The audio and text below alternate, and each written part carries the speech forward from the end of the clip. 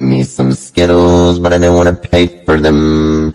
And then one of the store attendants came up to me and was like, put that back. And then he grabbed my arm and I said, don't touch me.